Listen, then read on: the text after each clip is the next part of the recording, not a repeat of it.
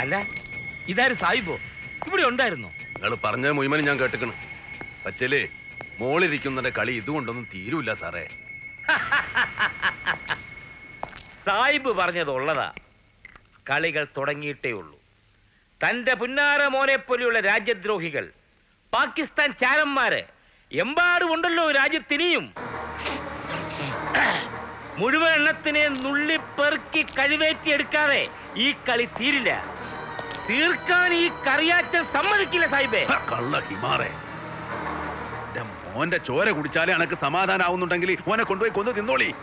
പക്ഷെ എന്റെ മോനെ ഈ പാകിസ്ഥാൻ ചാരനും രാജ്യദ്രോഹി എന്നൊക്കെ വിളിച്ചാലുണ്ടല്ല. വിഷം തുപ്പണന്റെ നാവരിഞ്ഞ നായക്കിട്ട് കൊടുക്കും. അനക്ക് അറിയൂല സാഹിബിനെ. പിന്നെ ചുമ്മാ തുള്ളാറ മൂപ്പിന്നെ. വയസ്സാങ്കാലത്ത് ഞരമ്പുളുക്കും രാജ്യസ്നേഹവും പറഞ്ഞ് ഇവിടെ ഉണ്ടുതൂറി കിടക്കുമ്പോഴും തന്റെയൊക്കെ ഉള്ളിലിരിപ്പ് എന്താണെന്ന് എനിക്കറിയാം.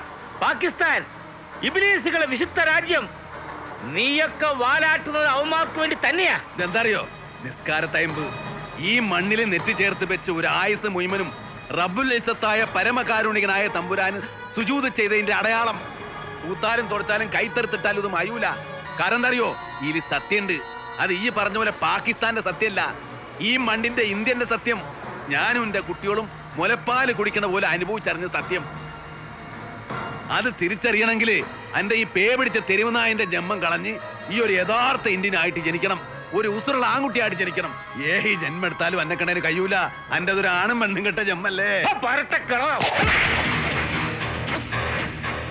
ലാഹോറിലെ ബ്രിട്ടീഷ് പട്ടാളത്തിന്റെയും പെറ്റ നാടിന് ഒറ്റിക്കൊടുത്ത ഇന്ത്യക്കാരായ ഇബിലീസുകളെ നെഞ്ചിൽ ഇരുമ്പും കൂടം പോലെ ഒരു ആയിരം തവണ വീണ കയ്യാത്. ഗ്രഹണി പിടിച്ച എന്റെ നെഞ്ചും കൂടെ തകർക്കാൻ ഇന്ന് ഒരു ചെറുപറിൽ വേണ്ട സാഹിബിന്. അറിയോ കണക്ക് അടിക്കണോ? അടിക്കണോ? അടക്കണേ